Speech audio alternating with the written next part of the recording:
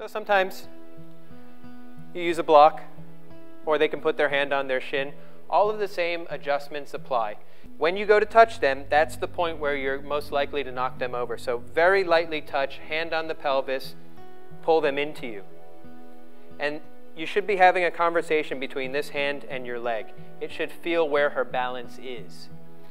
And then this hand adds one more point of contact, and then we, we're going to send the energy back into the left foot in the same way we did with all the other adjustments.